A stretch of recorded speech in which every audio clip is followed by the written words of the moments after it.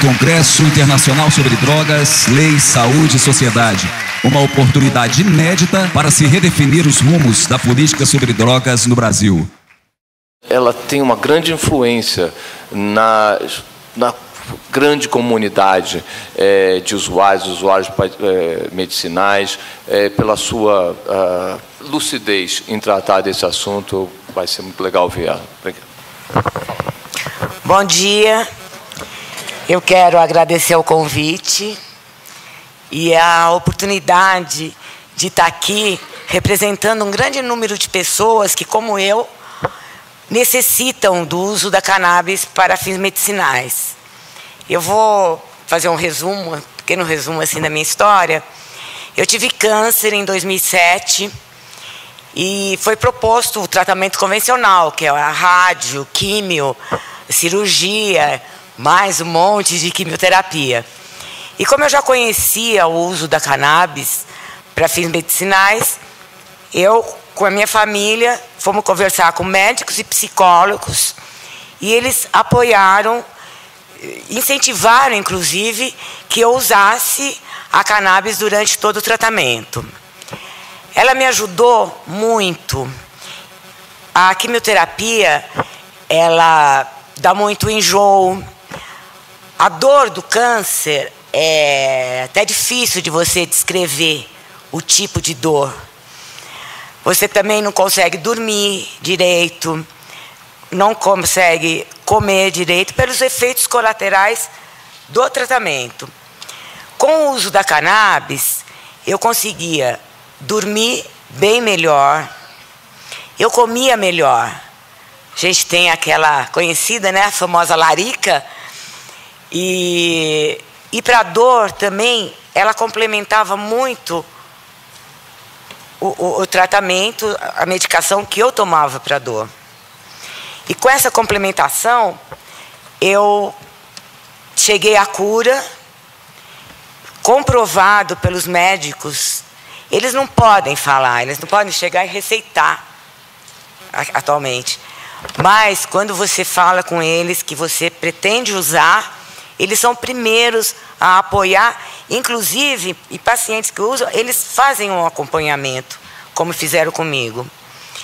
Depois que eu terminei o tratamento, depois de um tempo, eu fiquei com uma sequela, que é a fibromialgia.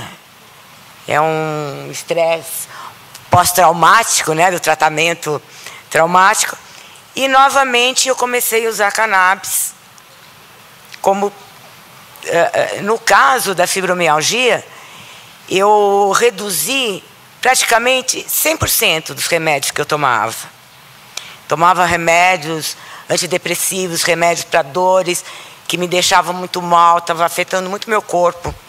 E com o uso da cannabis, eu consigo um alívio 100% quase das dores, dos sintomas da fibromialgia. Eu sei que é proibido, né? A gente sabe que é, é proibido usar, mas as dores que eu sinto são maiores do que a lei. Então eu uso.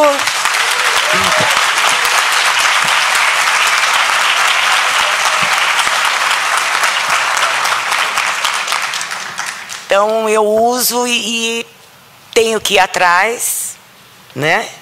Com essa proibição, né? A gente tem que ir atrás.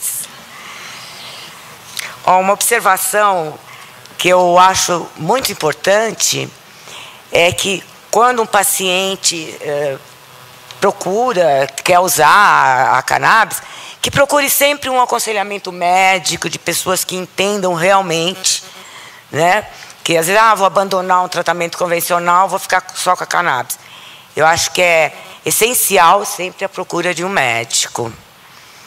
E hoje, eu luto, eu sou ativista, eu faço campanha.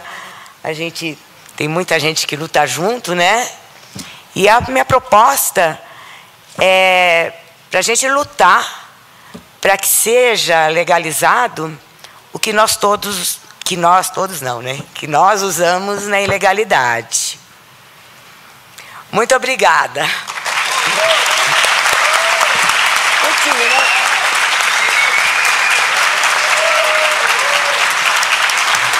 Obrigada. É? Rapidinho, né?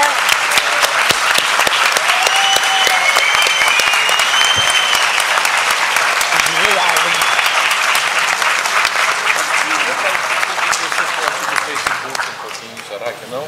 Será, será que você Teve pouquíssimo tempo. é pouquíssimo tempo, mas é, ela, como ela falou um pouco, só, uma, só para o pessoal ter uma pequena ideia da sua história com o Facebook, da sua página Apologia da Cura.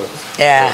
é- Eu, ah, depois que eu, que eu tomei a consciência, que os próprios médicos falaram para mim, a cannabis ajudou muito na sua cura. Porque você fica mais forte, mais fortalecido, é lógico que ajuda.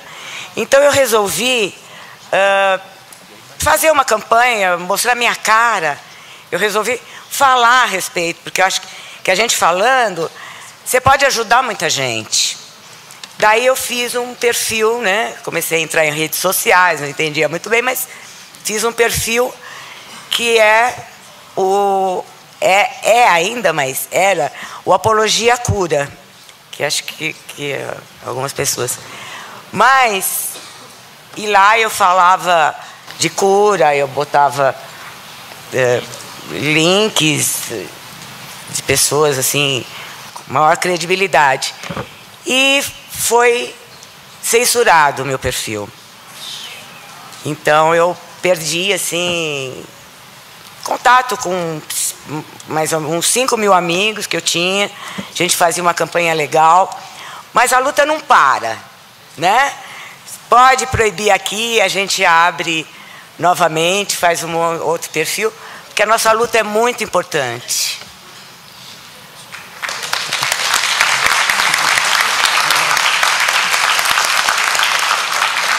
Muito obrigada.